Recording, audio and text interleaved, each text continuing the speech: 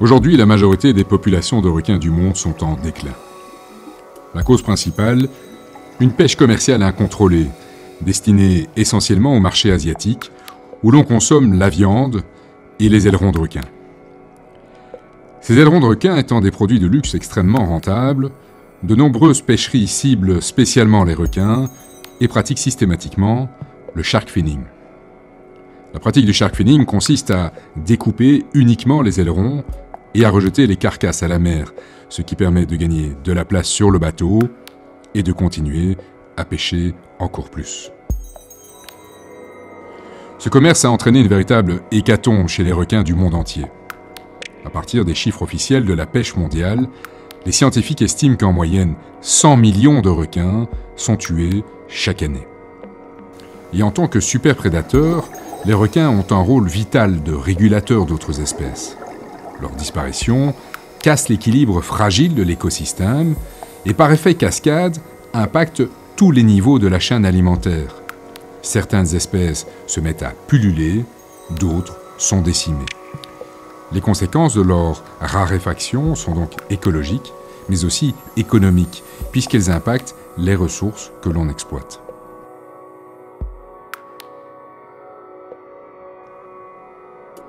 Face à cette catastrophe écologique, les autorités tentent de réagir. En 2013, sous la pression de Shark Alliance, une coalition d'ONG dédiée spécifiquement à la conservation des requins, l'Union européenne interdit définitivement la pratique du shark finning. Et depuis une décennie, certains États décident de protéger les requins en créant des sanctuaires. C'est le cas des Bahamas. En 2011, le gouvernement a adopté une loi interdisant la pêche et le commerce de toutes les espèces de requins dans ces eaux territoriales. Mais ces décisions politiques importantes risquent d'être insuffisantes pour sauver les prédateurs. Quand on parle de protection des requins, on se focalise souvent sur l'animal. Le risque est de faire l'impasse sur son habitat. Un exemple parlant est celui de la population de requins citrons des Bahamas. Si l'on rencontre facilement les adultes en mer, la côte, recouverte de mangroves, est indispensable à leur survie. Au sein de ce jeune sanctuaire, une équipe de tournage, parrainée par l'Aquarium du Gros du Roi, s'est installée pour réaliser plusieurs films sur la préservation des requins.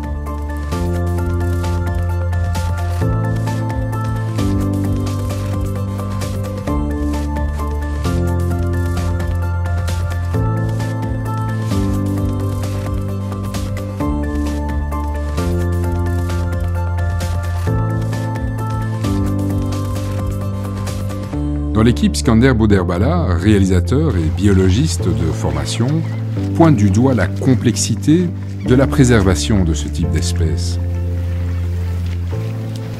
Il y a 2-3 jours, il y a une femelle qui est venue euh, mettre bas et elle a laissé ses petits ici. Et cette mangrove, ça va être vraiment la, maison euh, qui va protéger ces requins pendant 3-4 ans, le temps qu'ils grandissent, qu'ils soient assez forts pour pouvoir euh, ensuite devenir des grands prédateurs et partir en pleine mer. Si cette mangrove disparaît, comme elle disparaît d'ailleurs un peu partout sur la planète, pour différentes raisons, essentiellement parce qu'on a besoin d'aménager euh, euh, ce genre d'endroit, euh, on perd une étape qui est absolument fondamentale dans le cycle des requins, c'est-à-dire la, période de, protection et la, maison en fait en quelque sorte qui permet aux, bébés requins de grandir.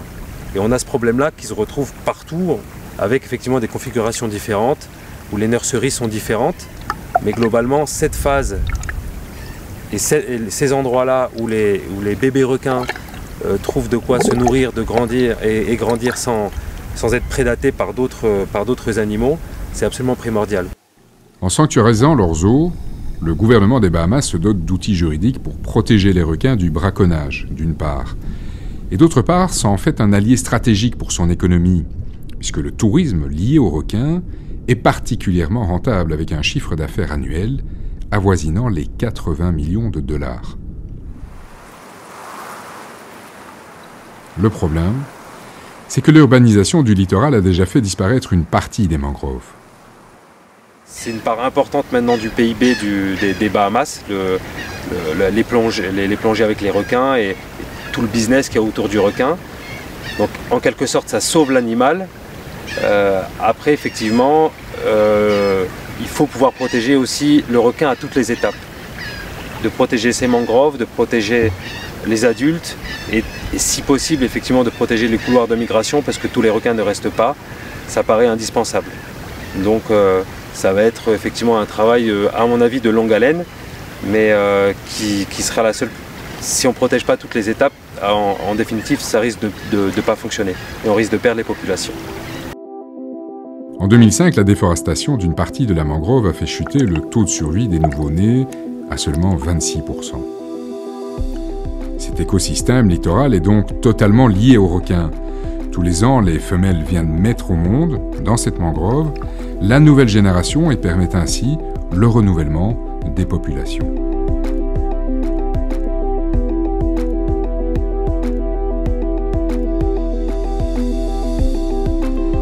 Méditerranée et particulièrement sur les côtes françaises, il n'y a pas de mangroves, mais les enjeux sont similaires. Les biologistes de l'aquarium du Gros du Roi travaillent avec l'Ifremer sur les populations de requins peau bleue, qui elles aussi sont sous pression. On estime qu'en Méditerranée, les, les, populations de requins de haute mer, euh, comme un peu dans le reste du monde, ont fortement diminué.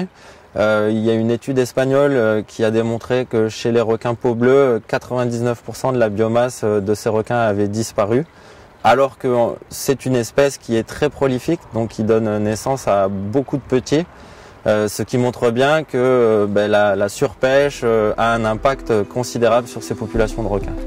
Depuis 2012, les scientifiques étudient les déplacements de ces requins à l'aide de balises satellites. Ces requins pélagiques évoluent partout en Méditerranée ils vivent au large, souvent à la limite entre les fonds abyssaux et le plateau continental. Des zones extrêmement productives, intéressantes pour l'alimentation des grands prédateurs. Ce sont de grands voyageurs. Une femelle, balisée au sud de l'Espagne, a parcouru 6000 km en 9 mois. Un peu de la même manière que les requins citrons aux Bahamas, les requins peau bleue de Méditerranée s'aventurent très près des côtes au printemps et pour certains semble s'y installer un à deux mois. Ce phénomène est visible sur le grand plateau du golfe du Lion. À cette période, la capture régulière de femelles pleines de petits et la présence de nouveau-nés mettent en évidence l'importance de cette zone. Au vu des observations que l'on a pu faire depuis de nombreuses années au printemps et en été, on peut émettre l'hypothèse que le golfe du Lion est une zone de mise bas des femelles peau bleue. Donc euh, cette zone a pour l'espèce un intérêt euh, vraiment très important puisque c'est là où les petits euh, vont naître. Et si par-dessus il y a une pression de la pêche, qu'elle soit par des fileyeurs, des palangres ou des, petits métiers, même des amateurs, si en plus des, prélèvements qu'il y a sur les, adultes, on détruit aussi les populations de jeunes qui sont les générations futures, on met en grand danger la, santé des populations de requins peau bleue en Méditerranée. Le golfe du Lion offre un plateau gigantesque, riche en nourriture, avec peu de profondeur. C'est donc une zone d'abri idéale pour des requins nouveau-nés. Cet endroit, pendant une période précise, représenterait donc une zone vitale pour la survie des requins, à prendre en considération dans les plans de gestion des espaces naturels. Pour pouvoir protéger euh, cette espèce de requin, donc euh, en l'occurrence le requin peau bleue, on peut, euh, on pourrait tout simplement déjà informer vraiment les gens qui ne sont pas forcément au courant de ce fait, qu'il s'agit peut-être d'une zone de nurserie, et leur donner une bonne conduite à tenir en cas de, de pêche d'un de ces petits requins, c'est-à-dire de le remettre le plus rapidement possible à l'eau pour qu'il puisse continuer à grandir et d'essayer d'avoir le moins d'impact possible sur ces, petits animaux et peut-être à terme pouvoir euh, protéger la, zone pendant une certaine période pour laisser euh, grandir euh, tranquillement ces petits requins peau bleue. La Méditerranée est une mer sous tension. Ces dernières décennies, la pression due à l'activité humaine n'a jamais été aussi intense. L'urbanisation du littoral, le tourisme de masse, le trafic maritime croissant auxquels s'ajoutent les pollutions physiques et chimiques, la baisse du taux d'oxygène dans l'eau et la surexploitation des ressources, tout cela fait un cocktail qui dégrade l'environnement marin et impacte directement les activités maritimes. C'est d'une logique implacable. La pêche, le tourisme, l'aquaculture se portent bien si et seulement si le milieu naturel est de qualité.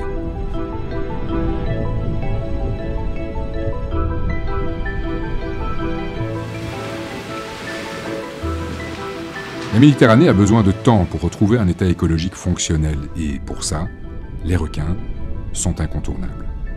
Ils font partie de ces prédateurs supérieurs qui jouent les premiers rôles dans l'équilibre de cet écosystème. Pour ces raisons, l'identification de l'emplacement de ces nurseries et la protection des juvéniles serait alors une avancée majeure pour la sauvegarde de cette espèce.